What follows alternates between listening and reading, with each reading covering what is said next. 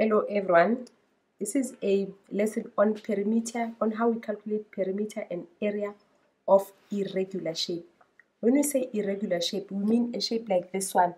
When you look at this shape, is not a rectangle, is not a square, is not, it's irregular. So when you calculate perimeter of a shape like this, perimeter is the same, you is a distance around the object. So you're going to add all of these around the object. But the problem with this question, you see here, we don't have the value. So we need to calculate that first. And then here, we also don't have a value. So we need to calculate that. So here, this side, it's 10. So this side, it's 2. It means 2 plus what will, will be equal to 10 because this side and that side, they're equal. So here, it's 8 centimeters. This long side is 15 centimeters then from there to there it's 9 so from here to here it's 6 centimeters. Now you have all the values for all the distance around. Let me put the 6 here so that it doesn't confuse with the 2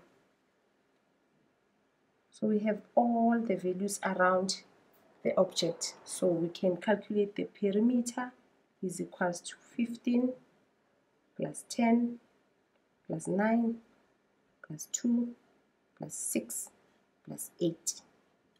Then we take our calculator, we add all of these values, then we find the perimeter 15 plus 10 plus 9 plus 2 plus 6 plus 8.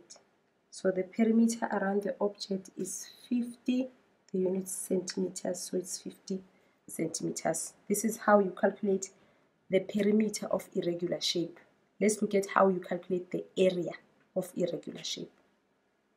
Okay, when we calculate the area of the irregular shape, the area is the space that is covered by the shape. So all this space here, what you do, you, you cut it into the shapes that you know. So if I look at this one, if I cut here, I'll have two rectangles. I'll have a rectangle there and a rectangle here. So this will call rectangle 1 and this one will call rectangle 2. Right?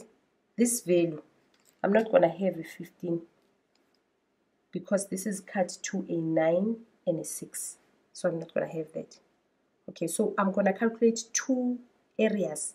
The area for the rectangle 1 and the area for the rectangle 2 and add it, add them then I'll find the total area of this shape. So area for rectangle 1 is equals to length times breadth.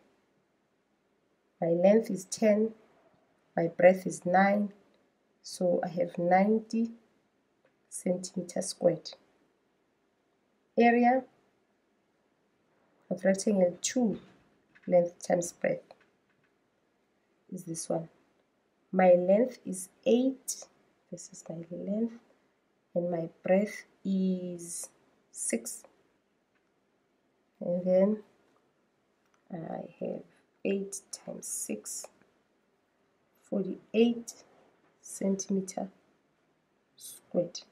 So the total area the area of the whole shape is 90 plus 48 which is 138 centimeter squared. So when you calculate area of the irregular shape, you just cut it to regular shapes and then add the areas. Okay, this is the end of our lesson. Thank you for watching.